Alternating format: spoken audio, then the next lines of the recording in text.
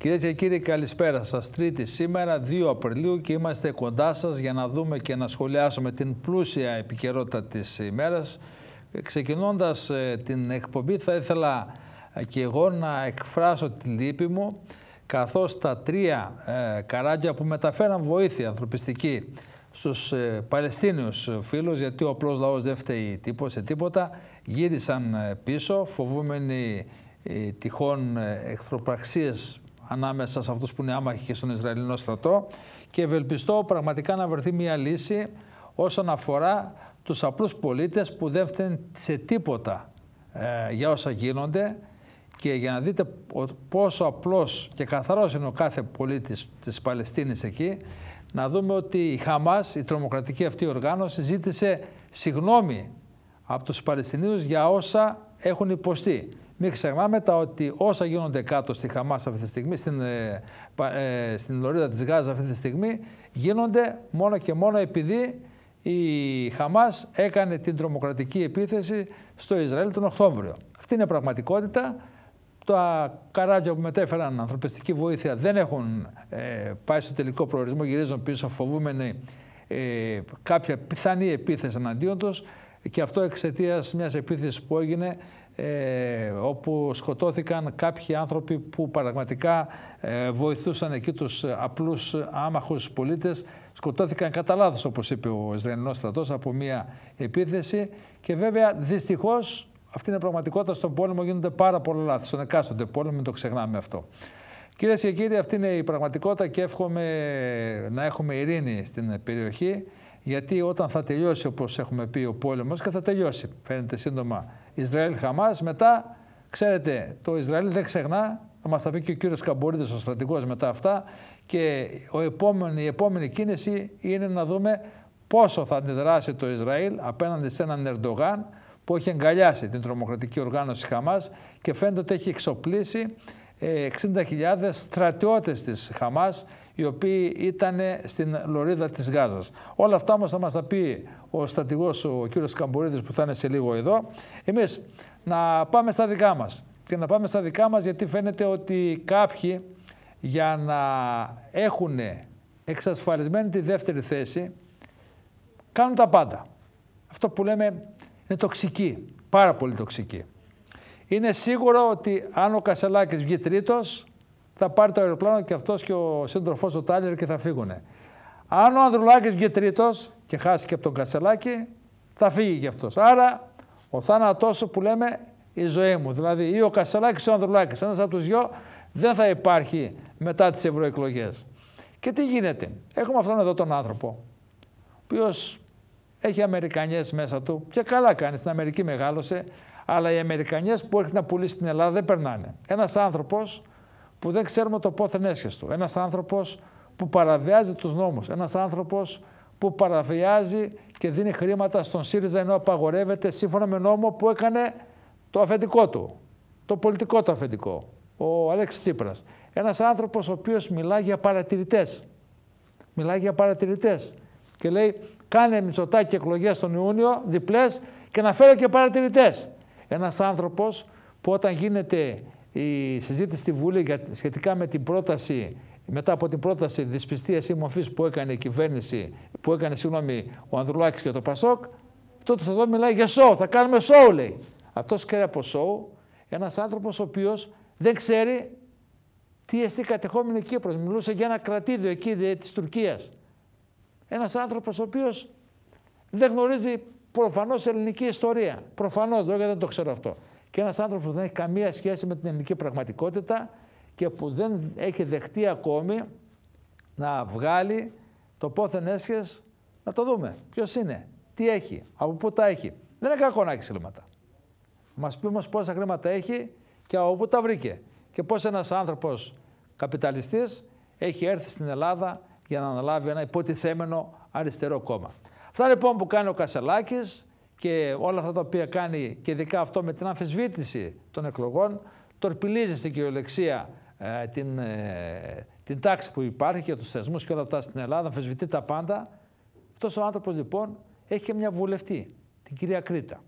Η κυρία Κρήτα, η οποία γνωρίζουμε όλοι τι κάνει το τελευταίο διάστημα, επιτέθηκε, επιτέθηκε στην ε, σύζυγο του Πρωθυπουργού λέγοντας ότι ο Τάιλερ, καλύτερα να είσαι Τάιλερ παρά αυτό που είσαι. Αυτό ήταν δηλαδή. Την κατηγόρησε για τα κίνητα που έχει, για τις δραστηριότητές της, για όλα αυτά. Η κυρία Κρήτα επιτέθηκε εναντίον της συζύγου του Πρωθυπουργού, της κυρίας Μαρέβα Μισοτάκη, ενώ γνωρίζει πολύ καλά η ίδια ότι όλα αυτά τα οποία είναι δηλωμένα στο πόθεν του Πρωθυπουργού και της οικογένειάς του, είναι ελεγμένα πάμπολες φορές. Επιλέγουν όμως το δρόμο της τοξικότητας, επιτιθέμενοι στην σύζυγο του Πρωθυπουργού, γιατί πιστεύουν πες πες κάτι θα μείνει. Έλα όμως που η υπόθεση θα πάει σε δικαστήρια και νομίζω ότι ο καθένας καταλαβαίνει ποιος έχει δίκιο και ποιος έχει άδικο. Εδώ για να ένα τεράστιο ερώτημα. Δεν μπορεί να χτυπήσει ο ΣΥΡΙΖΑ με πολιτικά επιχειρήματα τη Νέα Δημοκρατία και κατεβαίνει ο ΣΥΡΙΖΑ και άλλο επίπεδο, πιο χαμηλά και από αυτό που ήταν, και επιτίθεται στη γυναίκα του Πρωθυπουργού. Αυτό δεν είναι πολιτική. Χτυπάει δηλαδή κατά τη ζώνη. Αυτό δεν είναι πολιτική. Αν έχεις να κάνεις κάτι, χτυπάς τη γυναίκα, δεν χτυπάς τη γυναίκα του Πρωθυπουργού, χτυπάς τη Νέα Δημοκρατία και την κυβέρνηση. Το ίδιο και η Νέα Δημοκρατία, αν θέλει να χτυπήσει τον ΣΥΡΙΖΑ, χτυπάει πολιτικά τον ΣΥΡΙΖΑ. Δεν πάει να χτυπήσει, ε, δεν χτυπούσε, ας πούμε, για παράδειγμα, τη σύζυγο του Αλέξη Τσίπρα, ούτε θα χτυπήσει τώρα τον Τάιλερ. Πολιτικά θα χτυπήσει τον άνθρωπο τούτον, που θέλει να γίνει και πρωθυπουργός της Ελλάδας, που πήγε στο στρατό για 20 μέρες να κάνει την Βίτα και εκεί ακόμη να εκμεταλλευτεί ότι ο Κασελάκης πήγε στο στρατό. Άρα λοιπόν έχουμε την τοξικότητα στα ύψη, την τοξικότητα στην πολιτική ζωή της χώρας στα ύψη κυρίες και κύριοι, καλούνται και πατάνε πάνω στην τραγωδία των τεμπών, θέλοντας να παρουσιάσουν άλλα πράγματα, βρίσκουν ενόχους, ο εισαγγελέας, ο Γενικός Εισαγγελέας της Ελλάδας, ο κύριος Κασελάκης, τι έκανε, πήγαινε, έστειλε λέει και τον φάκελο στο γραφείο του κύριου Καλαφάτη. Παρέδωσε το φάκελο στον κύριο Καλαφάτη. Με τη μόνη διαφορά ότι ο Καλαφάτης ήταν χθες σε Θεσσαλονίκη, δεν ήταν στην Αθήνα. Άρα τον άφησε στο γραφείο του. Ούτε καν το πρωτοκόλλησε όπως δήλωσε ο κύριος Καλαφάτης. Και τι έχει αφήσει, έχει αφήσει το κατηγορητήριο, λέει, για, κατά του κυρίου ε, του πρώην Υπουργού Μεταφορών, του Κώστα Αχηλέα Καραμαλή. Άρα λοιπόν μιλάμε ότι οι άνθρωποι έχουν σε φύγει, ότι οι άνθρωποι κάνουν ένα σοου, ότι οι άνθρωποι είναι ένα με την τοξικότητα, ότι οι άνθρωποι, οι άνθρωποι παίζουν με τους θεσμούς. Όταν η κυρία ακρίτα και δικαιωμά είναι σε προσωπικό επίπεδο, ε, αποφασίζει να επιτεθεί εναντίον της, της συζύγου ε, του Πρωθυπουργού, είναι κατανοητό ότι θα υπάρχουν κάτι δράσεις. Και είναι κατανοητό ότι θα πάει στα δικαστήρια και αυτό που θα παρουσιάσει η κυρία Μητσοτάκη είναι ελεγμένο εδώ και πάρα πάρα πολλά χρόνια, συνεχόμενα ελεγμένο και ε, όλοι γνωρίζουμε την οικογενειακή τους κατάσταση, νομίζω ότι από εκεί και πέρα το αποτέλεσμα, κυρίες και κύριοι, μάλλον είναι αυτό που ο καθένας σκέφτεται. Θεωρώ ότι είναι αδιανόητο να έχουμε φτάσει σε τέτοιο επίπεδο την πολιτική ζωή της χώρας. Εγώ ξέρω ότι πολιτικά πρέπει να αντιμετωπίσεις τον άλλον και όχι να χτυπάς κάτω από τη ζώνη. Ο Κασελάκης, Ακρίτα, Πολάκης και όλη η παρέα είναι αυτοί οι οποίοι έχουν επιλέξει την τοξικότητα, την εργαλειοποίηση της τραγωδίας των ε, τεμπών κυρίες και κύριοι και την επίθεση στην σύζυγο του Πρωθυπουργού γιατί πιστεύουν ότι με αυτά τα σοου που κάνουν μάλλον θα κερδίσουν. Νομίζω ότι οι εκλογές της 9ης ε, Ιουνίου θα είναι αυτές οι οποίες θα δείξουν το δρόμο της εξόδου και προφανώς το ζεύγος Κασελάκη Τάιλερ θα μετακομίσει εκ νέου στην Αμερική ή διαφορετικά ο πρόεδρος του Πασόκ θα πρέπει να ετοιμάζεται να παραδώσει ο κ. Ανδρουλάκης στην ηγεσία του σε κάποιο άλλο νέο άτομο. Και όλα αυτά κυρίες και κύριοι συμβαίνουν στην χώρα μας. Στη γείτονα χώρα ο Ιμάμογλου ε, είναι ο νέος δήμαρχος Κωνσταντινούπολης. Ο Ερντογάν έχει χάσει.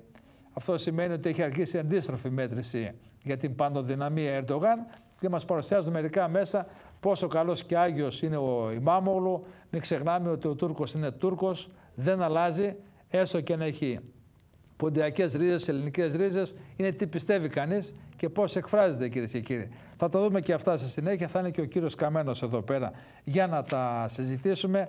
Όμως αυτό που έχει σημασία είναι ότι η τοξικότητα στην πολιτική ζωή έχει χτυπήσει κόκκινο. Πραγματικά έχει χτυπήσει κόκκινο με όλα αυτά τα οποία γίνονται και νομίζω ότι θα πρέπει να ξεκαθαρίζουν κάποια πράγματα και πάνω απ' όλα θα πρέπει η Νέα Δημοκρατία να πιέσει τον Γενικό Εισαγγελέα των, ε, της χώρας, τον κύριο Κασελάκη, που θέλει να εφαρμόζονται οι νόμοι, που θέλει να φέρνει παρατηρητές, αλλά αρνείται και θέλει να γίνει για πρωθυπουργός, τρομάρα του, αρνείται όμως να μας πει τι έχει. Εκτός και αν ντρέπεται να μας πει τι έχει στο εξωτερικό. Όλα αυτά λοιπόν θα τα συζητήσω με τον κύριο Βλάχο, με τον κύριο Καμπουρίδη, με τον κύριο Καμένο, ε, αμέσως και με τον, φυσικά με τον ε, ε βουλευτή μας, ε, τον ε, κύριο Χατζηβασιλείου, τον Τάσο, βουλευτή διεθνολόγο της Νέας Δημοκρατίας από, τις, από τον, στο νομό Σερών. Θα τα συζητήσω μετά το βίντεο, το απαραίτητο βίντεο κυρίες και κύριοι, με τίτλο «Τα μεγάλα συλλαλητήρια για την Μακεδονία». Είναι αυτό το βιβλίο εδώ το οποίο βλέπετε, 212 σελίδες, όπου εξιστορούνται τα πάντα όσα γίνανε στα συλλαλητήρια. Όλο το παρασκήνιο, όλες οι απειλές που δεχτήκαμε εμείς που οργανώσαμε τα συλλαλητήρια, πώς γίνανε, τι έκανε η αστυνομία και η ελληνική αστυνομία το Τσίπρα, πώς η ελληνική αστυνομία ήθελε, όχι τα παιδιά της αστυνομίας, η ηγεσία, προφανώς μετά από εντολές του Τσίπρα, θέλανε τι άλλο, αίμα αίμα για να μην μαζεύεται ο κόσμος και να μην ξεσηκώνεται ε, κατά της ε, συμφωνίας των Πρεσπών. Όλα αυτά λοιπόν θα τα δείτε στο μεγάλο βιβλίο πλούσιο εικονογραφημένο «Τα μεγάλα συλλαλητήρια για την Μακεδονία 2018-2019». Όσοι από εσάς δεν έχετε προμηθευτεί το βιβλίο μπορείτε να τηλεφωνήσετε και θα σας έρθει στο σπίτι σας με courier. Εγώ λοιπόν ε, θα προετοιμαστώ για να υποδεχτώ τον κύριο Χατζηβασιλείου. Όλοι μαζί όμως Ας δούμε το βίντεο για το βιβλίο μου «Τα μεγάλα συλλαλητήρια για τη Μακεδονία». Τα μεγαλειώδη συλλαλητήρια για τη Μακεδονία, καταγεγραμμένα με ακρίβεια και αντικειμενικότητα από τον προτεργάτη τους, δημοσιογράφο Στέριο Καλόγυρο. Για πρώτη φορά, ένα βιβλίο ντοκουμέντο για τον μεγάλο αγώνα του ελληνισμού και για την ελληνικότητα της Μακεδονίας. Μέσα από τις σελίδες του μαθαίνουμε συγκλονιστικές αποκαλύψεις για τα μεγαλειώδη συλλαλητήρια για την Μακεδονία που συντάραξαν το πολιτικό σύστημα. Διαβάστε λίγο ιστορία, το τι θα πει Μακεδονία. Ξεδιπλώνονται όλο το παρασκήνιο και οι πολιτικές συγκρούσεις. Αναδεικνύονται οι αφανείς ήρωες που προσπάθησαν να αποτρέψουν τη Συμφωνία των Πρεσπών. Τα μεγαλειώδη συλλαλητήρια του ελληνισμού για τη Μακεδονία το βιβλίο που μαρτυρεί όλες τις αλήθειες. Η φωνή της Βεργίνα τηλεόρασης και του Στέριου Καλόγυρου που έγιναν σύνθημα σε κάθε άκρη της χώρας, σε κάθε άκρη του κόσμου. Η Μακεδονία είναι μία και είναι ελληνική. Η Μακεδονία είναι μία, ήταν και θα είναι ελληνική. Παρασκήνιο, συγκρούσεις, αποκαλύψεις, παιχνίδια κατασκόπων λεπτό προς λεπτό, με συγκλονιστικές αφηγήσεις και πλούσιο φωτογραφικό υλικό, όλα τα γεγονότα που άφησαν εποχή. Η ομιλία του Μίκη Θεοδωράκη στο Σύνταγμα, οι προβοκάτσιες, το ξύλο και τα χημικά μπροστά στη Βουλή, οι ξένες δυνάμεις και το αίμα των πατριωτών στις πρέσπες, ο ρόλος της Εκκλησίας, οι συνωμοσίες, η προδοσία ενός ολόκληρου λαού που ακόμη ζητά δικαίωση. Τα συλλαλητήρια που συγκλώνησαν την Ελλάδα, μια πολυτελής έκδοση παρακαταθήκη για τις επόμενες γενιές. Παραγγείλτε το τώρα στο 211 853 63. Μόνο με 29 ευρώ. Σκοπιανοί δεν είναι Μακεδόνες, αυτό και μόνο αρκεί. Και σε αυτό το σημείο κυρίες και κύριοι, επιστρέφοντας στο στούντιο, καλησπερίζω και ευχαριστώ για την τιμή που μου κάνει τον ε, βουλευτή της Νέας Δημοκρατίας ε, βουλευτής Σερών, τον αγαπητό κύριο Τάσο Χατζηβασίλειου. Καλησπέρα σας κύριε βουλευτά. Καλησπέρα. Χαίρομαι πολύ που είμαι στη φιλόξενη συνότητά σας, κύριε Καλόγερα. Σας ευχαριστώ, βουλευτά μου, σας ευχαριστώ πάρα πολύ. Έχουμε πάρα πολλά θέματα να δούμε και ειδικά εσείς που ασχολείστε και με τα διεθνή. Όμως, θα ήθελα παρακαλώ να ξεκινήσουμε λίγο με αυτά που συμβαίνουν στη χώρα μας. Και είχα πει νωρίτερα στο πρόλογο μου, ε, κύριε Βουλευτά, ότι κάπου η κατάσταση έχει ξεφύγει και κάποιοι κύριοι φτάνουν στα όρια της τοξικότητας θέλοντας με το ζόρι να πείσουν το λόγο ότι πρέπει να είναι το δεύτερο κόμμα και να φέρουμε στον κύριο Κασελάκη ή στον κύριο Ανδρουλάκη δεύτερος, τρίτος, ο καθένας τσακώνεται και αυτή τη στιγμή φτάσαμε στο σημείο να ξεφύγουμε από αυτό που λέμε ε, πολιτικός αγώνας, είμαι πολιτικά αντίθετος σε σένα και να επιτιθέμεθα στη σύζυγο του Πρωθυπουργού για ανύπαρτα πράγματα. Είναι αλήθεια ότι ο ΣΥΡΙΖΑ στις τελευταίες ημέρες έχει ξεπεράσει κάθε όριο χιδεότητας. Οι άνθρωποι λοιπόν από ό,τι φαίνεται δεν έχουν ώρες ώρες κανένα όριο. Ξέρετε ότι η τοξικότητα μιας αντιπολίτευσης η οποία δεν έχει πολιτικά επιχειρήματα, δεν έχει πολιτικό λόγο για να αντιπαραταθεί απέναντι στη Νέα Δημοκρατία, είναι κάτι το απαράδεκτο. Γιατί ξέρετε κάτι, όλα αυτά τα οποία αναφέρει η κυρία Κρήτα στην ανίκεια επίθεση της αντίον της κυρίας Μητσοτάκη, πρόκειται για μια απρόκλητη, ανίκεια, χιδαία επίθεση σε βάρος της Μαρέβας Μητσοτάκη. Όλα αυτά έχουν ελεγχθεί 10 και 20 φορές κύριε Καλόγερε και δεν έχει τεθεί ποτέ κανένα ζήτημα. Τώρα, εάν η κυρία Κρήτα θέλει να γίνει φορέας πολλακισμού, είναι δικό της ζήτημα. Εάν η κυρία Κρήτα θέλει να δώσει διαπιστευτήρια πολλακισμού στον κύριο Κασελάκη, πάλι είναι δικό της ζήτημα. Όμως αρκετά με τη χιδεότητα, αρκετά με την τοξικότητα. Γιατί λοιπόν στο ΣΥΡΙΖΑ μένουν βουβοί οι υπόλοιποι, γιατί καλύπτουν την κυρία Κρήτα, γιατί ο κ. Κασελάκης, αν έχετε τέτοιου είδους συμπεριφορές, φτάνει λοιπόν με το βούρκο εναντίον προσώπων από τις οικογένειες κύριε Καλόγερε. Η πολιτική πρέπει να γίνεται στη βάση επιχειρημάτων, να αντιπαρατηθέμεθα όλοι στη βάση ιδεών, προτάσεων και απόψεων. Όχι με λάσπη ανεμιστήρα, κυρίως εναντίον ανθρώπου του ιδιωτικού περιβάλλοντος. Αυτά είναι πράγματα παράδεκτα που δεν λαμβάνουν χώρα ποτέ από τη Νέα Δημοκρατία. Είμαστε διαφορετικοί εμείς και εκείνοι και αυτό είναι σαφές. Οι πολίτες βλέπουν, παρακολουθούν και κρίνουν, κύριε Καλόγερ. Κύριε Χατζεβασιλείου, αγαπητέ μου βουλευτά, είναι γεγονός ότι τόσο ο κύριος Κασαλάκης όσο και ο κύριος Ανδρουλάκης έχουν πάρει τον δρόμο της τοξικότητας πιστεύοντας ότι θα μπορέσουν να είναι ένας από τους δύο δεύτερος. Ταυτόχρονα ε, βλέπουμε ότι προσπαθούν να εκμεταλλευτούν πολιτικά μία τραγωδία. Δηλαδή να κάνουμε πολιτική σε 57 παιδάκια τα οποία φύγανε άδικα. Δεν μπορείς τώρα ένας, σε ένα γονιό που κλαίει για το παιδί του να πηγαίνεις εκεί και να το κάνεις πολιτική όταν μάλιστα η δικαιοσύνη έχει επιληφθεί και ο καθένας να λέει οτιδήποτε. Αυτό δεν έχει ξανάγινει. Δηλαδή, εγώ θυμάμαι, ας πούμε, όταν έγινε δυστυχώς πάλι, όταν ζήσαμε την τραγωδία στο μάτι, δεν θυμάμαι την αντιπολίτευση τότε όλοι να επιτίθεται και να λέει εσύ είσαι ένοχος, εσύ να πας να δικαστείς. Γιατί φτάσαμε στο πρωτόγνωρο σημείο να πάνε και να αφήσουν στο γραφείο ε, του γραμματεία του κόμματος, του κύριο Καλαφάτη, έναν φάκελο, ενώ ο ίδιος ήταν στη Θεσσαλονίκη και λέει δώσαμε στον κύριο Καλαφάτη. Αυτά, κύριε Βουλευτά, δεν έχουν ξαναγίνει. Πράγματι, ζούμε απίθανες στιγμές, αν μπορούμε να τις πω απίθανες, εντός οικών κύριε Καλόγερε, είναι γεγονός ότι στην αντιπολίτευση έχουμε έναν καυγά ποιος θα ηγηθεί του κεντροαριστερού χώρου. Και σε αυτόν τον καυγά βλέπετε ότι δεν διστάζει κανείς τους, κυρίως το αναφέρομαι στο Πασό και στον ΣΥΡΙΖΑ, να εργαλειοποιεί με τρόπο χιδαίο τον ανθρώπινο πόνο.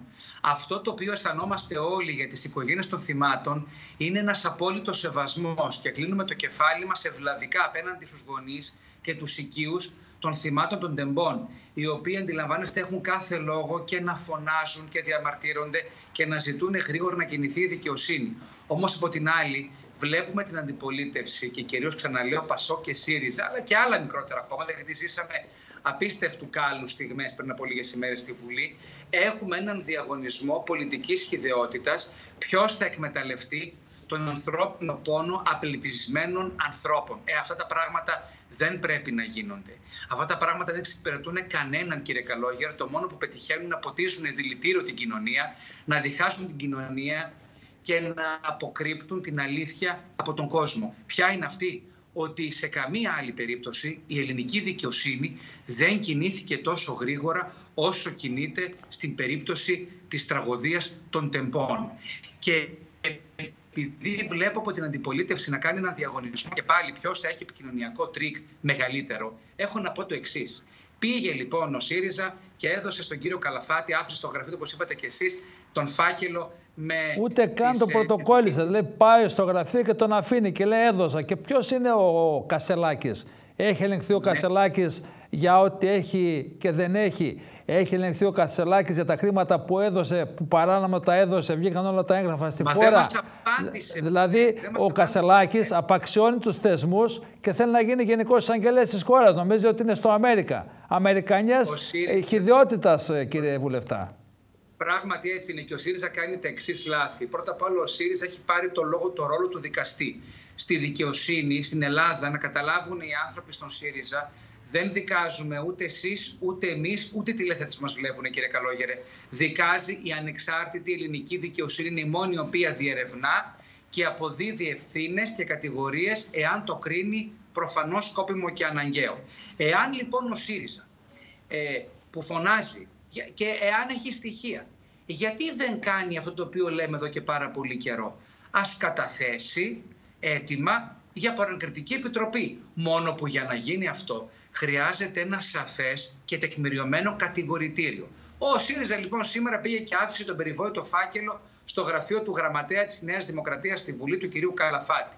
Μέχρι λοιπόν να ακολουθηθεί η διαδικασία που ορίζει κανονισμός της Βουλής, τότε θα μιλάμε απλώς για ένα ακόμα επικοινωνιακό πυροτέχνημα της αξιωματικής αντιπολίτευσης. Όλα τα άλλα είναι αέρας φρέσκος κύριε Καλόγερ, είναι δυστυχώς εμπόριο ανθρώπινου πόνου και σε αυτό ναι, εμείς δεν θέλουμε να... να πάρουμε μέρος ούτε να παίξουμε στο θέμα. Μα δεν μπορεί να παίζεις με ένα γονιό που έχει χάσει το παιδί του. Δεν μπορεί να παίζεις. Δεν μπορεί να παίζεις ε, σε μια τραγωδία που χάσαν 57 παιδιά. Γιατί υπήρχαν λάθη. Και η δικαιοσύνη πρέπει να βρει ποιοι φταίνε. Όποιοι και αν είναι αυτοί. Αλλά έχουμε και κάτι άλλο. Ναι, κύριε Βουλευτά, ναι. Αν, κύριε Καλόγερ, το Πασόκ και ο ΣΥΡΙΖΑ την έχουν δει ανακριτές, τότε είναι σε λάθος χώρα.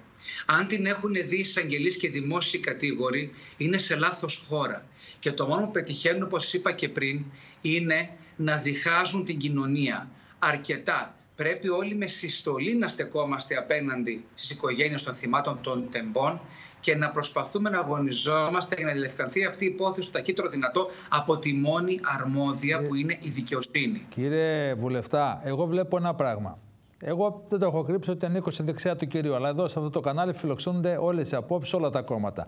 Δεν ανέχομαι όμως εγώ το ίδιο και χιλιάδες τηλεθεατές, δεν θα πω εκατοντάδες χιλιάδες, να βγαίνει ο κύριος Κασελάκης να το παίζει κριτή στον άλλον, ο, τον όνο, συγγνώμη, να είναι τόσο πολύ τοξικός και να βγαίνει και να λέει ότι πρέπει στι επόμενες εκλογές που θα πρέπει να γίνουν 9 Ιουνίου να φέρω παρατηρητές. Ποιος ο Κασελάκης, ο οποίος δεν γνωρίζει ότι η, το βόρειο κομμάτι της Κύπρου είναι κατεχόμενο και μιλάει για κράτος της Βόρειας Κύπρου. Ο Κασελάκης, ο ανιστόρητος. Το, το, είχε, το είχε πει κρατήδιο. Κρατήδιο, ναι. Είναι, είναι, δηλαδή ο άνθρωπος δεν ξέρει τι εστί ελληνισμός και Ελλάδα. Και τον έχουμε εδώ πέρα και μιλάει για παρατηρητές αυτός που το κόμμα του κέρδισε δύο φορές εκλογές. Παραδίδωσε η Νέα Δημοκρατία τις εκλογές, όπως έχει παραδώσει και στο Πασό και αντιστρόφως στο Πασό στη Νέα Δημοκρατία. Δηλαδή είναι εκτός τόπου και χρόνου, είναι τοξικός και δεν έχει επέμβει ένας εισαγγελέας για όλα αυτά που λέει. Ο άνθρωπος έχει ξεφύγει και δεν φέρνει και το πόδι έτσι, να ξέρουμε πού τα βρήκε τα λεφτά. Πού τα βρήκες, Ρε Κασαλάκη, τα λεφτά. Τα κέρδισες στον Τζόκερ, πού τα βρήκες. Πραγματικά δηλαδή δανείζει 250.000 στο ΣΥΡΙΖΑ. Άρα εσείς τώρα θα πρέπει να, να, να επισπεύσετε ώστε η Βουλή να στερήσει από τον ΣΥΡΙΖΑ το ποσοστό που λέει ο νόμος από την επιδότηση και να πληρώσει και πρόστιμο ο Κασελάκης. Γιατί δεν προχωράμε αυτά και βγαίνει ο Κασελάκης ως Γενικός Εισαγγελέας και λέει φέρτε μου παρατηρητές. Ο Κασελάκης δεν ξέρει τι σημαίνει πολιτική. Άλλα πράγματα γνωρίζει, κύριε, κύριε Πρώτα απ' όλα να θυμίσουμε στους τηλεθεατές μας ότι ο Κασελάκης έχει αποκαλέσει προκαιρού, όπως είπαμε, κρατήδιο την κατεχόμενη Κύπρο, το ψευδοκράτος λοιπόν, κατεχομένων Προφανώς τον μπέρδεψε με το Βατικανό και το Μονακό. Αλλά αυτά, ξέρετε, μπορεί να ακούγονται αστεία, αλλά είναι επικίνδυνα, κύριε Καλόγερε. Δεν κάνουμε παιχνίδια με τα εθνικά ζητήματα. Δεν προσβάλλουμε την ε, μνήμη, την συλλογική μνήμη του κυπριακού ελληνισμού, αλλά και του ελληνισμού γενικότερα, που έχει πληρώσει με αίμα το τραύμα της, ε, της Κύπρου και την τουρκική εισβολή του Ατήλα το 1974. Αυτά δεν είναι αστεία πράγματα. Δεν τα γνώριζε αυτά, κύριε Κασαλάκης, κύριε Βουλευτά. Είναι ε, Δεν τα γνώριζε αυτά. Νόμιζε ότι ο ΣΥΡΙΖΑ είναι κανένα μαγαζί το οποίο θα ανέβει πάνω και θα γίνει πρωθυπουργός της Ελλάδος. Ε, Αυτό μάλλον, μάλλον έχει μπερδέψει τον ΣΥΡΙΖΑ με αστακοκάραβα ή offshore ο κ. Κασελάκης. Γιατί ξέρετε κάτι, δεν μας έχει απαντήσει αν πραγματικά παρανόμησε ή όχι. Ο ΣΥΡΙΖΑ έχει ψηφίσει επί των ημερών του, θυμόσαστε, τον νόμο που απαγόρευε στα πολιτικά πρόσωπα και τα συγγενικά πρόσωπα αυτών να δραστηριοποιούνται επιχειρηματικά στο εξωτερικό και δεν έχουμε καταλάβει τελικά τι έχει συμβεί μαζί του. Έχουμε ακούσει πέντε διαφορετικές εκδοχές. Έσκαβε το λάκκο του αλλού και έπεσε ο ίδιος μέσα. Ο ΣΥΡΙΖΑ έσκαβε το λάκκο για τη Νέα Δημοκρατία και τον κύριο Μητσοτάκη και έπεσε ο ίδιος μέσα. Αυτή είναι η σημασία. Και τελικά για την ταμπακέρα δεν μας είπε τίποτα όμως, κύριε Καλόγερ. Ε, δεν πρέπει να απαντήσει όμως, δεν είναι υποχρεωμένος. Ακριβώς. Είναι υποχρεωμένος. Περιμένουμε. Περιμένουμε να Συγγνώμη, απαντήσει. Γιατί δεν καταθέτεται, λέω εγώ τώρα, δεν γνώριζα από τα βουλευτικά, μια ερώτηση στη Βουλή να έρθει και να μας πει πού τα βρήκες τα λεφτά, Ρε Κασελάκη. Ποιος τα έδωσε; Υπάρχει, Είσαι τόσο μάγκας και έκανες τόσα πολλά λεφτά; Σας θυμίζω ότι ο κύριος Κασελάκης δεν είναι βουλευτής και δεν μπορεί να απαντήσει σε ερώτηση βουλευτών, διότι στερείται του αξιώματος. Για την ώρα δεν έχει εκλεγεί ο κ. Κασελάκη στο Κοινοβούλιο. Αυτό ε, ξέρω ότι δημιουργεί και δυσκολίες στον ΣΥΡΙΖΑ, διότι ο αρχηγός του είναι στην ουσία εκτός ε, συζήτησης Βουλής. Όμως θα έρθω και στο άλλο ζήτημα. Ο κ. Κασελάκη ε, δείχνει να αγνοεί την πραγματικότητα. Προσπαθεί να παρομοιάσει την πατρίδα του την ίδια με αφρικανικό καθεστώς όταν μιλά για παρατηρητές στις εκλογές. Ε, ας τον προστατεύσουν κύριε Καλόγερη, οι σύντροφοί του. Ας του εξηγήσουν ότι η χώρα είναι μια ευρωπαϊκή, μια σύγχρονη δημοκρατία όπου οι θεσμοί λειτουργούν και ταυτόχρονα ελέγχονται από το ίδιο το Σύνταγμα. Αν ο κ. Κασελάκης έχει άγνοια της πραγματικότητας, δεν είναι δικό μας θέμα αυτό. Πρέπει να πάει να το λύσει με του τρόφου του, να διαβάσει, να καταλάβει σε ποια χώρα έχει έρθει και ποια χώρα θέλει να κυβερνήσει κατά τα λεγόμενά του. Έτσι δεν είναι, δεν διεκδικεί να γίνει πρωθυπουργός της Ελλάδας κάποια στιγμή. Πολλά ε, παραμύθια πώς... διαβάζει ο κύριος Κασελάκης. Πώς το διεκδικεί Πολλά αυτό παραμύθια διαβάζει, κύριε Βουλευτά. Τι είναι εδώ, πράγματι. Όμως ο κόσμος, ξέρετε κάτι, εμπιστευόμαστε τους πολίτες και θα συμφωνήσετε και σε αυτό, κύριε Καλόγερε. Οι πολίτες δεν είναι αδαείς. Ξέρουν πολύ καλά τι είναι ο καθένας τι κομίζει και τι πρεσβεύει. Πάνε οι εποχές που κάποιοι θεωρούσαν τους πολίτες ως, ε, εν πάση περιπτώσει, φερέφωνα ή ως αντικείμενα εκμετάλλευσης πολιτικής. Ο κόσμος είναι και ευφύης. Ξέρει και κρίνει. Κύριε Βουλευτά, ο αρχηγός της αξιωματικής αντιπολίτευσης, όταν γινόταν η συζήτηση στη Βουλή ε, σχετικά με την πρόταση της πιστεία, λέει πάμε να κάνουμε ένα σοου. Ο άνθρωπος νομίζει ότι είναι showman, τίποτα περισσότερο. Πάμε να κάνουμε ένα σοου στο στρατό, αόρκιστο που λέμε εμείς οι παλιοί, να κάνει παρέλαση, με εντολή προφανώς και με την ευθύνη του, του διοικητή.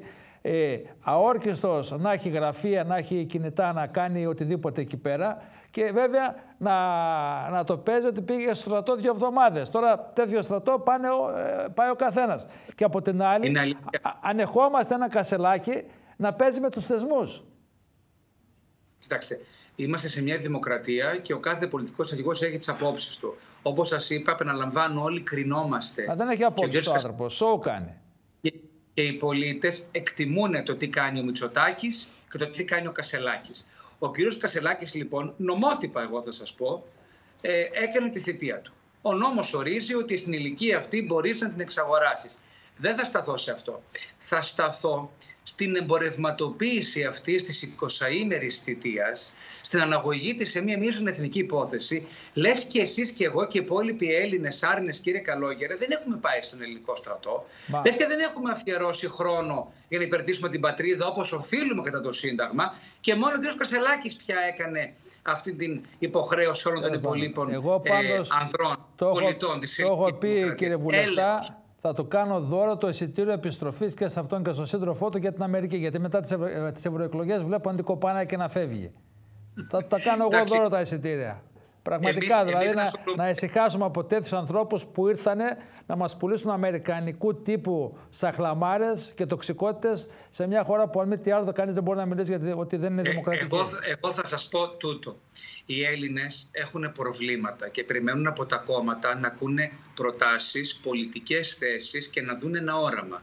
Ο ΣΥΡΙΖΑ μέχρι σήμερα, αλλά και η υπόλοιπη αντιπολίτευση, δεν έχει παρουσιάσει τίποτα το εναλλακτικό. Δείτε το αστείο της υπόθεσης. Καταθέσανε μέσα από διάφορες έτσι, φασαρίες πρόταση μομφής κατά της κυβέρνησης Μητσοτάκη και τυπικά αυτό δεν σημαίνει ότι θα πρέπει να παρουσιάσουν και ένα εναλλακτικό πρόγραμμα διακυβέρνηση στη Βουλή. Εσείς το είδατε αυτό τις δεν έχουν. Δεν έχουν. Δεν έχουν.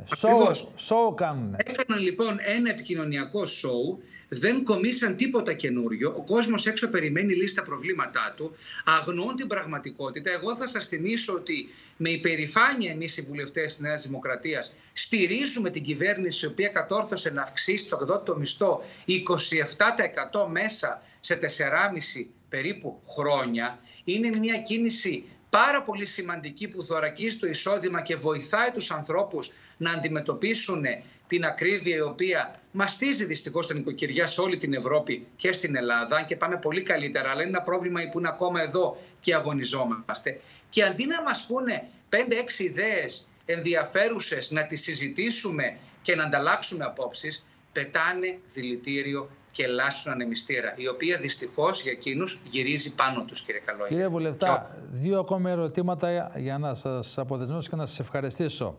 Πηγαίνει 9 Μαΐου ο πρόεδρος της Τουρκίας να δει τον ε, Biden. Ήταν να πάει και ο κύριος Μητσοτάκης από ότι τουλάχιστον είχε ανακοινωθεί νομίζω και από τον πρέσβη της ε, χώρας μας, της Αμερικής στη χώρα μας. Δεν ανακοινώθηκε από την κυβέρνηση, ανακοινώθηκε από τον κύριο Τσούνιο ως σχεδιασμός. Ακριβώς. Ε, ο κόσμος ρωτάει, μα δεν πήγε ο Μητσοτάκης να δει τον Biden και πάει ο Ερντογάν; Τι συμβαίνει; Πρώτα απ' όλα προσέξτε, ο Κυριάκος Μητσοτάκης έχει κάνει ήδη επίσημες επισκέψεις στο Λευκό Οίκο, το γνωρίζετε. Είχα την τύχη και την τιμή να τον συνοδεύω και εγώ μάλιστα στην τελευταία του επίσκεψη στην Ουάσιγκτον. Ο Κυριάκος Μητσοτάκης έχει ανοιχτό διεύλο επικοινωνίας με τον Biden και με την Αμερικανική διοίκηση κάθε φορά που αυτό χρειάζεται. Ο κύριος Ερντογάν προσπαθεί να πάει στο Λευκό Οίκο 7 χρόνια. Και τώρα λοιπόν επισκέπτεται την Ουάσιγκτον στην εκπνοή της θητείας του Biden. Δεν γνωρίζουμε αν θα συνεχίσει να παραμένει στη θέση του μετά τις αμερικανικές ναι. εκλογές. Ψηφίζουν και εκεί οι άνθρωποι τον προσεχή Νοέμβριο και πηγαίνει με ένα αντικείμενο μόνο να εξομαλύνει την τεταμένη σχέση μεταξύ Τουρκίας και Ηνωμένων Πολιτειών. Γνωρίζετε πολύ καλά τι έχει το προηγούμενο διάστημα και ότι οι σχέσεις κινήθηκαν πολλές φορές στα όρια. Ο, ο πρωθυπουργός μας δεν πήγε, δεν χρειαζόταν να πάει. Θα σας απαντήσω. Υπήρχε ένας σχεδιασμός για να κάνει τρίτη επίσημη επίσκεψη στο Λευκό Οίκο και Μητσοτάκη τον Ιανουάριο προσβλήθηκε από τον ιό της γρήπης, όπως θυμόσαστε, και υποχρεωτικώ ε, δεν επετράπει να ταξιδέψει ε, στην Αμερική. Είχαμε σχεδιάσει την επίσκεψη αυτή τώρα τον Απρίλιο και η πρόταση από την Αμερική έλεγε για 4 Απριλίου. Ε, έχει και ξέρετε και ο Biden εκλογές ε, και έχει προεκλογικές περιοδίες αυτή την περίοδο, κύριε Καλόγερε. Προσέξτε όμως, εμείς 5 Απριλίου το μεσημέρι ξεκινάμε ουσιαστικά τη διαδικασία του συνεδρίου της Νέας Δημοκρατίας. Χρονικά δεν βγαίνει να επιστρέψει ο Πρωθυπουργός και να υποδεχθεί τους ξένους καλεσμένους εδώ και προφανώς να μιλήσει την Παρασκευή που μας έρχεται στο συνέδριό μας στο Ζάπιο. Άρα, το, λοιπόν, το απόγευμα ε, δεν μιλάει ο Πρωθυπουργός. Το απόγευμα μιλάει, αλλά αντιλαμβάνεστε ότι έχουμε ξένους καλεσμένους οι οποίοι ξεκινάνε σιγά σιγά να έρχονται στην Αθήνα από την Παρασκευή. Είναι πρακτικώ αδύνατον λοιπόν ο Πρωθυπουργός να λείπει την Παρασκευή από την Ελλάδα. Αυτός είναι ο λόγος και θα σας ε, ξεκαθαρίσω ε, το εξής. Να σας πω κάτι άλλο. Εγώ θα το σεβαστώ αυτό που λέτε και θα το ασπαστώ. Μα Αλλά πραγματικό... θα, θα ρωτήσει κι ο άλλος, εντάξει, δεν μπόρεσε να πάει τώρα, δεν μπορεί να πάει το Μάιο. Γιατί δεν πηγαίνει μια βόλτα στην Αμερική. Αφού πάει ο αντίπαλος, να πάμε κι εμείς. Εγώ έτσι το βλέπω. Εμεί έχουμε πάει ήδη δύο φορές. Πάμε και μια τρίτη, δεν πειράζει. Το Ερντογάν τα 7 χρόνια έχει πάει μηδέν. Δεν πειράζει, να πάμε άλλη μία στο καπάκι να δούμε και τι έχει γίνει. Μα δεν τελείωσε η θητεία του Μπάιντεν, ούτε έφυγε η Αμερική από εκεί. Θέλω να σας ξεκαθαρίσω το εξής. Οι ελληνοαμερικανικές σχέσεις είναι τόσο βαθιά στρατηγικές που ξεπερνούν πρόσωπα και κόμματα. Ναι, Τα πω... συμφέροντά μας είναι τόσο κοινά και οι σχέσεις ε, είναι τόσο Εγώ θα πω το εξής. που δεν επηρεάζονται Κύριε ούτε από την επίσκεψη ούτε από τίποτε άλλο. Κύριε Χαζαβασίλειο, αγαπητέ μου βουλευτά, εγώ όπως και εσείς και όλοι μας είμαστε Δύση, δεν ανήκουμε στη Δύση, είμαστε Δύση. Όμως έχω ένα παράπονο και νομίζω και ένα μεγάλο ποσοστό των ε, Ελλήνων πολιτών. Έχουμε κάνει την Ελλάδα μια απέναντι αμερικανική βάση, ό,τι θέλουν οι φίλοι μας οι Αμερικανοί όμως δεν έχουν έρθει οι Αμερικανοί να εγγυηθούν τα σύνορά μας και να τους πούμε έλα εδώ πάρε κάνε τις βάσεις, αλλά εγώ δεν θα σηκώνω ούτε F-35 ούτε Ραφάλ αν περνάει τουρκικό κουνούπι θα τον αχαιτίζεις εσύ. Αυτά είναι τα σύνορα, αναγνώρισε τα. Δεν το κάνανε αυτό οι φίλοι μας οι Αμερικανοί. Πρώτον, ένα παράπονο πάρα πολλών Ελλήνων. Και δεύτερον, τι θα γίνει που μας ζητάνε να δώσουμε τους S-300 στην Ουκρανία; Θα τους δώσουμε; Και αν ναι. τους δώσουμε, τι γίνεται; Πρώτα. Δύο ερωτήματα. Πρώτα. Πρώτα απ' όλα, σε ό,τι αφορά το δεύτερο, δεν υπάρχει επίσημα τέτοιο ερώτημα αναφορικά με S-300 στην Ουκρανία. Ξεκάθαρα. Δεν υπάρχει. Το, το προηγούμενο ερώτημά σας, μία μικρή διαφωνία δεν κάναμε απέραντη βάση Αμερικανική ε, Καλά, κάναμε σε δύο σημεία τρία όπου ε, θέλανε αυτοί. Έχουμε μία, έχουμε μία ε, εξαιρετική αμυντική συμφωνία και συνεργασία, η οποία, όπως σας είπα, εδράζεται σε κοινές αξίες. Το σημαντικό λοιπόν είναι να ταυτίζουμε τα συμφέροντά μας με εκείνα των συμμάχων μας. Είναι η ασφαλέστερη επιλογή για να μπορεί η χώρα να είναι ισχυρότερη και θα έλεγε κανείς καλύτερα προετοιμασμένη για κάθε κίνδυνο. Τώρα εδώ έχουμε μία δυσκολία. Ε, τυπικώς οι Τούρκοι είναι σύμμαχοί μας στο ΝΑΤΟ.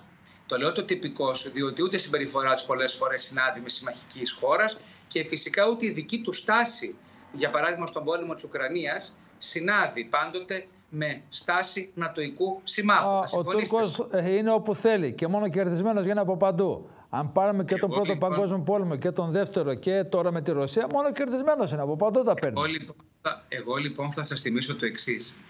Δεν έχει υπάρξει άλλη κυβέρνηση την τελευταία περίοδο που να έχει στείλει τόσα αυστηρά μηνύματα στην Τουρκία και να έχει ξεκαθαρίσει ότι εμείς δεν προσπαθούμε, ότι εμείς δεν δεχόμαστε μίγα στο σπαθί μας και ότι εμείς θέλουμε την Τουρκία να είναι μια κανονική συμμαχική χώρα, κύριε Καλόγερε, και να, να συμπεριφέρεται σαν σύμμαχος χώρας στο ΝΑΤΟ. Ευτυχώς το τελευταίο διάστημα η Τουρκία τυπικά είναι, συμπεριφέρεται σωστά. Βλέπετε ότι εδώ και ένα χρόνο αφού στο παιδί... δώσαμε το διαβατήριο να πάει να αγοράσει τα, τα ε, σκάφη, κύριε Βουλευτά. Τους ήρθαμε εδώ, τους βαφτίσαμε και φύγανε. Ορίστε. Εμείς σας θυμίζω, είμαστε, δεν δώσαμε διαβατήριο εμείς σε κανέναν. Ε, βέβαια, για να πάει, να πάει στον κύριο Μπάιντε να πουλήσει μερικά, ε, εξοπλισμό μερικών δισεκατομμυρίων ευρώ. Αυτή είναι η πραγματικότητα. Αρνείστε, αρνείστε το γεγονός ότι η Τουρκία έχει χάσει χρόνο και τον έχει κερδίσει η Ελλάδα. Η Ελλάδα δεν Στον εξοπλισμό ναι, έχουμε κερδίσει. Είμαστε 10 χρόνια μπροστά τουλάχιστον. Προχωρήσαμε να θωρακίσουμε την εθνική μας άμυνα με τρόπο δειγματικό, με νέα σκάφη και με νέα αεροπλάνα. Είμαστε μπροστά και μπράβο στην κυβέρνηση σε αυτό. Τελειώνουμε με τα F-16 σιγά σιγά με την αναβάθμιση στην Τουρκία ακόμα παρακαλά για να πάρει τα kit. Αυτή είναι η πραγματικότητα. Άρα λοιπόν θέλω να σας εξηγήσω ότι η Ελλάδα θέλει να έχει με την Τουρκία ανοιχτή, ανοιχτό διεύλο επικοινωνία. Τι θα γίνει με, κύριε Βουλευτά, τι θα γίνει με την Κύπρο; Δεν κάνει ούτε λεκτικά πίσω τόσα χρόνια. Και καταλαμβάνει και, όμως, και την πράσινη γραμμή σιγά σιγά. Θα είμαι ξεκάθαρος κύριε Καλόγερε. Δεν υπάρχει στην Κύπρο συζήτηση πέραν από αυτής στο πλαίσιο του ΟΗΕ που είναι για διζωνική δικοινοτική ομοσπονδία. Οι ιδέες της Τουρκίας περί λύσεως δύο κρατών ή περί συνομοσπονδίας, γιατί και αυτό το λένε πίσω από την πόρτα, το ακούτε συχνά, είναι αέρας φρέσκος. Δεν θα τις δεχθεί ούτε η Αθήνα, ούτε η Λευκοσία, ούτε η Ευρωπαϊκή Ένωση, ούτε ο ΟΗΕ, ούτε οι Αμερικανοί, ούτε κανένας. Θα καλά θα κάνει λοιπόν να καταλάβει η Τουρκία ότι το Κυπριακό είναι ένα ξεκάθαρο ζήτημα εισβολής και κατοχής κύριε, από τρίτη δύναμη. Κύριε Βουλευτά, και η διχοτόμηση δεν υπάρχει δεν Επειδή δεν έχουμε χρόνο, θα ρωτήσω μόνο το εξής. Εσείς έχετε μεγάλη εμπειρία στα διεθνή θέματα. Πείτε ότι γίνεται κάτι στην Κύπρο. Θα καλέσουμε την Ευρωπαϊκή Ένωση να κάνει το καθήκον της και να στείλει στρατό. Η Ελλάδα είναι δεδομένο ότι θα στείλει. Μ' ακούτε κύριε Βουλευτά; Πρώτα θα, θα κληθεί η Ευρωπαϊκή Ένωση, θα στείλει ο Γερμανό στρατό στην Κύπρο ή θα στείλει μόνο πολεμοφόδια στα κατεχόμενα για να χτυπήσουν την ελεύθερη Κύπρο; Είδατε λοιπόν γιατί έρχεστε στα λόγια του Κυριάκου Μητσοτάκη, ο οποίος εδώ και καιρό μιλάει για στρατηγική αυτονομία της Ευρώπης. Είδατε λοιπόν γιατί έρχεστε στα λόγια της κυβέρνησης που ζητάει, πρόσφατα το ζητήσαμε στις Βρυξέλλες, ευρωπαϊκό αμυντικό ομόλογο, ούτως ώστε να προχωρήσουμε γρήγορα στον εξυγχρονισμό της Ευρωπαϊκής Άμυνας. Θεωρώ ότι θα σιγά σιγά θα γίνει αποδεκτή η πρόταση του Πρωθυπουργού για ενιαίο αμυντικό δόγμα της Ευρώπης. Η άποψή μου είναι ξεκάθαρη σε αυτό και δεν, έχω, δεν την έχω κρύψει στιγμή. Πιστεύω στην ανάγκη δημιουργίας ευρωπαϊκής άμυνας. Μιας ενιαίας ευρωπαϊκής άμυνας yeah. η οποία θέλει Δεν μου είπατε όμως, αν γίνει κάτι, θα τρέξει η Ευρώπη στην Κύπρο ή θα την αφήσουμε; Η Ελλάδα είναι δεδομένο ότι θα είναι εκεί. Ε, αλλά σκεφτείτε, εάν, εάν υπήρχε ευρωπαϊκός στρατός οργανωμένος και κύριε, ε, καθορισμένος, τα πράγματα κύριε δεν θα Βουλευτά, αυτό, μου, αυτός μου το είπατε και συμφωνούμε απόλυτα. Συμφωνούμε απόλυτα. Το ερώτημά μου για να έτσι κλείσουμε. Αν χρειαστεί, θα, θα προστρέξει η Ευρωπαϊκή Ένωση υπέρ της Κυπριακής είναι, Δημοκρατίας; Είναι υποχρεωμένοι οι εταίροι να προστρέξουν εάν αυτό χρειαστεί. Όμως θα σας απαντήσω με ένα βήμα πριν. δεν πιστεύω ότι υπάρχει περίπτωση ποτέ να χρειαστεί, γιατί οι Τούρκοι ξέρουν πάρα πολύ καλά ότι αν μπλέκανε σε μια υποθετική περιπέτεια με την Ελλάδα, τότε αυτό δεν θα τους έβγαινε σε καλό. Σας του αντίον. Γιατί γνωρίζουν τι σημαίνει ελληνική ψυχή και ελληνική εθνική άμυνα, κύριε Καλόγερε. Σας Εγώ ευχαριστώ, ευχαριστώ κύριε Βουλευτά. Σας ευχαριστώ πάρα πολύ για την τιμή που μου κάνατε. Να, καλά, δική μου χαρά και τιμή. Λοιπόν, καλό βράδυ. Καλό βράδυ και χαιρετισμού εκεί και στις πανέμορφες αίρες. Κυρίες και κύριοι, είμαστε και πάλι κοντά σας, έχοντας στην τηλεοπτική μας παρέα τον αγαπητό ε, καθηγητή, τον κύριο Λέξη Μητρόπουλο. Κύριε Μητρόπουλο, καλησπέρα σας. Καλησπέρα, καλησπέρα κύριε Καλόγυρο. Ευχαριστώ πολύ για την τιμή. Καλησπέριζω τους τηλεθεατές και τις τηλεθεάτριες του καναλιού. Σας ευχαριστώ κύριε καθηγητά. Και πριν πάμε στα οικονομικά, στι αυξήσεις και στις συντάξεις, σημαίνουν αυτά που ανακοίνωσε η κυβέρνηση για τον κόσμο. Θέλω λίγο μία τοποθέτηση δική σας Είστε αντιπρόεδρος της Βουλής, βουλευτής, τα ξέρετε πολύ καλύτερα από όλους μας. Γιατί υπάρχει αυτή η τοξικότητα στην πολιτική σκηνή της χώρας; Φτάσαμε στο σημείο η κυρία Κρήτα να επιτίθεται προσωπικά εναντίον της συζύγου του κ. Μητσοτάκη. Ο ίδιος να λέει ότι θα πάω μάρτυρας στο δικαστήριο υπέρ της γυναίκας μου. Ε, ο κύριος Κασελάκης μιλάει για στημένες ε, κάλπες, για στημένα μάλλον αποτελέσματα, ζητάει διεθνούς παρατηρητές να έρθουν. Όλα αυτά δημιουργούν ένα επικίνδυνο παιχνίδι με τους θεσμούς. Θέλω την άποψή σας κύριε καθηγητά. Θεωρώ ότι όλα αυτά τα οποία συμβαίνουν τώρα στην πατήρα μας στον χώρο της πολιτικής λειτουργίας είναι, έχουν μεγάλη δόση υπερβολής από όλες τις πλευρές. Από όλες τις πλευρές. Θεωρώ ότι και η κυβέρνηση κύριε Καλόγυρε έδωσε λαβή για κάποια ζητήματα ή να παρεξηγηθεί, να δώσει μία εντύπωση ότι δεν δίνει προτεραιότητα ή δεν έχει διάθεση να παρέμβει όσο πρέπει και όσο απαιτούν τα κοινωνικά στρώματα σε κάποια ζητήματα. Το ότι σέρνεται για ένα χρόνο, σε εισαγωγικά το σέρνεται, το μεγάλο θέμα αυτό, το, το, το μεγάλο δυστύχημα των τεμπών, νομίζω έχει μεγάλη ευθύνη η κυβέρνηση. Έπρεπε εξ και η λειτουργία της Επιτροπής στη Βουλή να συνοηθεί περισσότερο, διότι βλέπουμε οι συγγενείς παραμένουν ανικανοποιητοί από την πορεία και τη δικαιοσύνη. Βλέπουμε ευθεία βολή στη δικαιοσύνη για ολιγορία και το καθεξής από επικεφαλής της ομάδας των συγγενών τους οποίους όλοι συμπαριστάμεθα και βέβαια συμπάσχουμε διότι χάσανε τα παιδάκια τους, χάσανε τους δικούς τους ανθρώπους. Άρα λοιπόν, αν θέλετε την απόψή μου, η κυβέρνηση έδωσε λαβή. Από τις υποκλοπές μέχρι και την τελευταία, το τελευταίο ζήτημα των τεμπών έδωσε κάποια λαβή. Από την άλλη πλευρά υπάρχει μεγάλη δόση υπερδάση. Επειδή δεν έχουν δυνατότητα να παρέμβουν πολιτικά ηγεσίες αντιπολίτευσης, δεν μπορούν να ακουμπήσουν τα κοινωνικά στρώματα. Μάλλον τα χάσανε στις πρόσφατες εκλογές. Τα εργατικά στρώματα, τα προλεταριακά στρώματα, τα αγροτικά τα χάσανε. Επιμένουν σε αυτά τα ζητήματα της παραπολιτικής. Άρα λοιπόν και η αντιπολίτευση και η κυβέρνηση δεν έχουν τόση αναφορά στην κοινωνία παρά το ότι η κυβέρνηση έχει κάνει πρωτοβουλία, έχει πάρει πρωτοβουλίες. Άρα λοιπόν ό,τι βλέπουμε και φοβάμαι, φοβάμαι ότι αυτό το φαινόμενο που ζητάτε να σχολιάσουμε θα ενταθεί και θα πάρει και άλλες δύσκολες διαστάσεις ότι είναι μεταξύ μεταπολιτικής και υποπολιτικής. Δεν είναι η παραδοσιακή λειτουργία που ξέραμε σε μια συνήθη κοινοβουλευτική δημοκρατία. Κύριε καθηγητά, λύστε μας μια απορία. Ε, οι πολιτικοί και ειδικά οι πολιτικοί αρχηγοί, όπως ο κύριος Μητσοτάκης, υποβάλλουν το πόθεν έχεις κάθε χρόνο στη Βουλή, σωστά; Σωστά. Ε, τι καινούργιο είδε η κυρία Κρήτα ε, που και μιλάει έτσι ας πούμε για την σύζυγο του Πρωθυπουργού και για όλα τα σχετικά διαπίστωσε κάποιο καινούργιο περιουσιακό στοιχείο το οποίο δεν φαινόταν ας πούμε στα πόθεν έσχες. Μιλάμε για πολίτες ε, ε, δηλώσεις πόθεν έσχες στις οικογένειες Μητσοτάκη. Δεν θα ήθελα να επισέλθω σε αυτά τα άκρως προσωπικά ζητήματα. Δεν ξέρω τι είδε ή τι συμβούλε, δεν μπορώ να εφανταστώ. Πάντως υποβάλλονται οι δηλώσεις τόσα χρόνια, έτσι δεν είναι; Υπο, υποβάλλονται, είχαν παλιότερα ακουστεί κάποια ζητήματα για αγορές κλπ. Αλλά εγώ δεν θα ήθελα να επισέλθω. Δεν θέλω να επισέλθω, δηλαδή ε, και με πολιτικούς δεν θέλω να βρίσκομαι. Όχι ότι είναι αρνητική η, η, τοποθέτησή μου, αλλά δεν θα ήθελα να συμμετάσχω σε αυτού του είδους τη συζήτηση, αγαπητέ Ωραία, κύριε καθηγητά. Πάμε λίγο, το, σεβαστό, πάμε λίγο στις αυξήσεις. Καινούργια αύξηση στους μισθωτούς.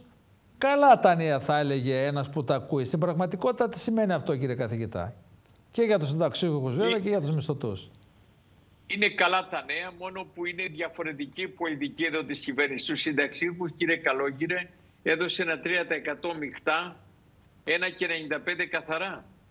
Με πληθωρισμό 3,9 και πληθωρισμό τροφίμων 9% έδωσε στους συνταξίχους τους οποίους έχει αδικήσει. Θεωρώ μέσα από την εκπομπή σας, την οποία παρακολουθούν και οι κυβερνητικά στελέχη, ότι πρέπει στους συνταξίχους να επανέλθει η κυβέρνηση.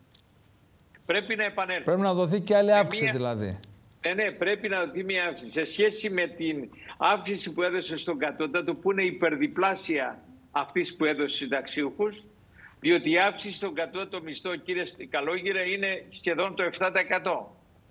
Στους συνταξίουχους μειχτά βέβαια. Στους συνταξίουχους 3% μειχτά. Άρα λοιπόν, στον κατώ... θα μου πείτε ότι στους συνταξίουχους πληρώνει ο κρατικός προϋπολογισμός και στους κατώτατο μόνο οι εργοδότες. Γι' αυτό και εσείς και εμείς έχουμε γίνει δέχτης με ψημυριών και διστροπιών των εργοδοτών που λέει πώς να πληρώσουμε το νέο κατώτατο μισθό, τα νέα αυξημένα δώρα, τις νέα αυξημένες τριετίες, τις νέες αυξημένες υπερορίες και το καθεξής. Άρα λοιπόν εδώ πρέπει, πρέπει η κυβέρνηση να ενισχύσει με διευκολύνσεις στους μικρομεσαίους, διότι κύριε Καλόγυρε, το 40% των μικρομεσαίων δεν θα αντέξει το νέο σύστημα μισθών στο ιδιωτικό τομέα. Το μισό εκατομμύριο χρωστάει στον ΕΦΚΑ, το 64% χρωστάει στην εφορία, το 62% χρωστάει στις τράπεζες και το 15% δεν μπορεί να πληρώσει νερό και ρεύμα. Άρα, έως να πληρώσουν οι μικρομεσαίοι και οι εργοδότες το νέο αυξημένο σύστημα μισθών, αλλά πρέπει να διευκολυνθούν στη φορολογία τους, στις τράπεζές τους, στις εφορίες τους και στις άλλες υποχρεώσεις. Διαφορετικά είδαμε κάποια μηνύματα κύριε Καλόγυρε, χθες βγήκε η Ελστάτ και για έκτος συνεχή μήνα έχει αυξηθεί η ανεργία από την Ελληνική Στατιστική Αρχή. Από 10 που ήταν πριν κάποιους μήνες έχει πάει στο 11 η ανεργία. Σημαίνει ότι οι εργοδότες αντιδρούν και στην τεκμαρτή φορολόγηση που πολλοί δεν μπορούν να την αντέξουν και στη αύξηση των εισφορών. Υπό αυτή την έννοια θεωρώ ότι η κυβέρνηση συνδυαστικά με το καλό μέτρο αύξηση του κατώτου μισθού και των επιδομάτων που αυξάνονται από χθες παράλληλα με τον κατώτο μισθό να στηρίξει τουλάχιστον τμήμα των μικρομεσαίων διότι φοβάμαι ότι θα έχουμε κακές εξελίξεις εκ μέρους τους στην αγορά εργασίας. Ε, άρα κύριε καθηγητά, μιλάμε ότι πρέπει να στηριχτούν και οι επιχειρηματίες αν καταλαβαίνω καλά. Σε κάθε περίπτωση και άμεσα. Διότι επαναλαμβάνω έχουμε πάρει μηνύματα επειδή διαθέτουμε το μεγαλύτερο νομικό δίκτυο στην επικράτεια και παρακολουθούμε και επιχειρήσεις και εργαζόμενους. Βλέπουμε στενοχώρια κυρίως μικρομεσαίων, όχι της μεγάλης εργοδοσίας, όχι αυτή έχει, αντέχει, τα καταβάλει δεν με Μιλάμε για τις μικρές επιχειρήσεις, κύριε καθηγητά. Διότι, για έτσι, για αυτές. Εκεί πρέπει η κυβέρνηση κάτι να πράξει, γιατί τα μηνύματα δεν είναι καλά, αγαπητές Στέλιο. Κύριε καθηγητά, κλείνοντας, σας παρακαλώ, πείτε μου, υπάρχει φως στον ορίζοντα για να δοθεί και άλλη αύξηση από την κυβέρνηση στους συνταξιούχους, γιατί είναι άνθρωποι που πολλοί εξ αυτών περιμένουν και ζουν, να ζήσουν μόνο με τη σύνταξη και αυτή δεν φτάνει. Αυτή είναι η πραγματικότητα. Για Είμαι τους, περισσότερους τουλάχιστον. Είμαι σίγουρος ότι η κυβέρνηση θα επανέλθει στους συνταξιούχους και είμαι σίγουρος ότι όταν ο Πρωθυπουργός 15 μέρες 20 είπε δεν θα δώσω το επίδομα στους ευάλωτους στο Πάσχα, ότι θα το αναθεωρήσει και θα δώσει. Σε εσάς το λέω, εσάς κοιτάζω, όταν ο Πρωθυπουργός είπε πριν 20 μέρες ότι δεν έχω να δώσω το επίδομα των φτωχών, στενοχώρησε πολύ κόσμο. Και θεωρώ ότι μέσα στις μέρες θα επανέλθει για να δώσει προπάσχα το επίδομα στις έξι ευάλωτες κατηγορίες που πήραν πέρυσι το Πάσχα, που πήραν πέρυσι τα Χριστούγεννα και πήραν πρόπερσι τα Χριστούγεννα. Αυτό θα είναι καλό κύριε καθηγητά θα πάρει μια προσωρινή στον ακούφιση πάρα πολλοί κόσμος. Έτσι. Ό,τι δώσει, 200-300 ευρώ θα είναι καλό. Έτσι. Για τους συνταξίχους επιμένω κύριε Καλόγερε. Το 3% μεικτό ήταν αδικία, ήταν στενοχώρησε τον κόσμο. Με αυτό που ζουν οι συνταξίχοι μας. Και βλέποντας ότι μπόρεσε και έδωσε απεφάσεις σε 7% στον ιδιωτικό τομέα, εδώ πρέπει να το ξαναδεί η κυβέρνηση. Άρα θα έπρεπε να πάει και 7% στους συνταξιούχους κύριε καθηγητά, έτσι με απλές σκέψεις. Κα, κατά την άποψή μου βέβαια, κατά την άποψή μου. Λοιπόν, σας ευχαριστώ πολύ κύριε καθηγητά. Ευχαριστώ για την τιμή. Πάντα ενδιαφέροντα αυτά που μας λέτε. Σας ευχαριστώ, πάρα, πάρα πολύ. Να είστε καλά. Γεια σας. Ευχαριστώ. Ευχαριστώ. Ευχαριστώ. Λοιπόν, εμείς ε, κυρίες και κύριοι, σε αυτό το σημείο ε, θα πάμε σε ένα διάλειμμα.